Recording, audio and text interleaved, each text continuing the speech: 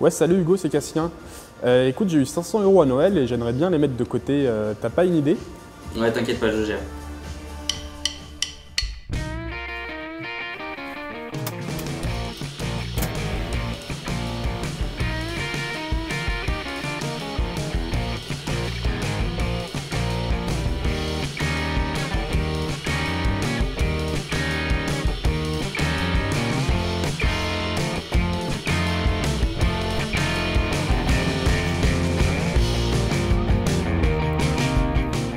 Va rencontrer Serge Maître, secrétaire général de l'Association française des usagers de banque, qui va nous parler des livrets d'épargne.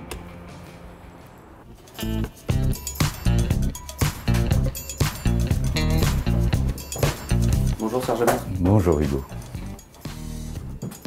Alors selon vous, quel livret conviendrait à un étudiant de 22 ans qui vient de recevoir 500 euros à Noël?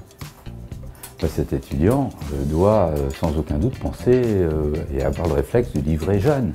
Le livret jeune, pourquoi? Ben, Parce que c'est un livret totalement défiscalisé, aucune formalité à accomplir et il pourra même négocier le taux d'intérêt. Actuellement, il est libre entre 1,5 et 2,5%. Ah, il y a un petit bémol, c'est que le plafond est de 1700 euros, mais avec 500, il remplit déjà une partie des conditions. Et pour un jeune actif de 25 ans? Un jeune actif de 25 ans, s'il a moins de 20 000 euros de revenus par an, bah, devrait penser au livret d'épargne populaire. On se dit pourquoi? Mais Parce que c'est un livret qui est intéressant. La rémunération est de 1,5%, c'est-à-dire quasiment 50% de plus que le livret A, par exemple. Le, plafonnement est quand même particulier. On ne pourra déposer que 7 700 euros maximum sur ce livret. Maintenant, s'il a plus de 20 000 euros par an de revenus, bah, dans ce cas-là, euh, il faut qu'il pense au livret A.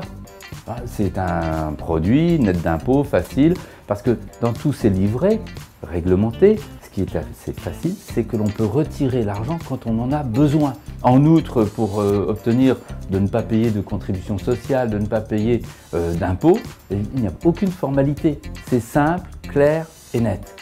Alors en bref, si vous avez moins de 25 ans, le livret jeune est fait pour vous. Si vous avez plus de 25 ans, tout dépend de vos revenus.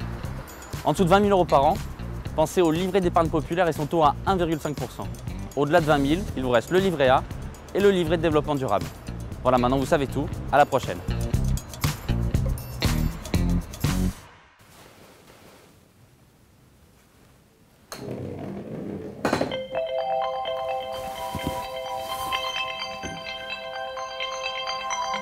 Allô?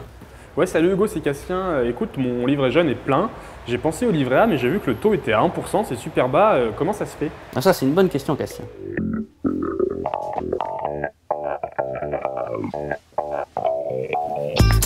Le taux du livret A est à son plus bas niveau historique. À titre de comparaison, il était de 4% au 1er août 2008. La différence vient du fait qu'il se base sur l'inflation, la hausse des prix, qui était beaucoup plus forte à l'époque.